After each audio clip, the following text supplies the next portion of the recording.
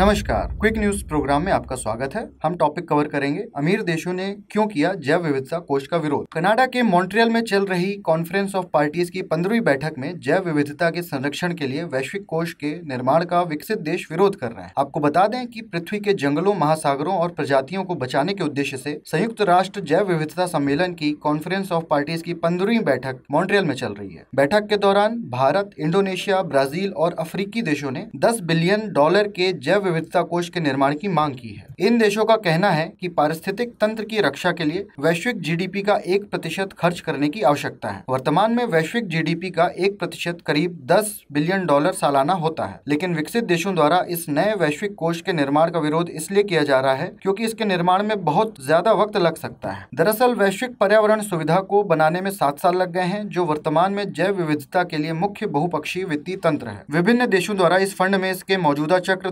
2022 से 2026 के लिए 5.3 बिलियन डॉलर देने का वादा किया गया है। इसलिए विकसित देशों का मानना है कि मौजूदा धन का उपयोग करना ही बेहतर होगा। जैव विविधता कोष का लक्ष्य 2030 तक हानिकारक मत्स्य और कृषि सब्सिडी को समाप्त करके तथा कीटनाशकों के उपयोग को कम करके दुनिया की 30 प्रतिशत भूमि और समुद्र की रक्षा करना है। आपको बता दें की इससे पहले कोप सत्ताईस में नुकसान और क्षति फंड से संबंधित भी विकसित और विकासशील देशों के बीच टकराव देखा गया था। सात दिसंबर से शुरू हुए संयुक्त राष्ट्र जैव विविधता सम्मेलन की पंद्रहवीं बैठक 19 दिसंबर तक चलेगी।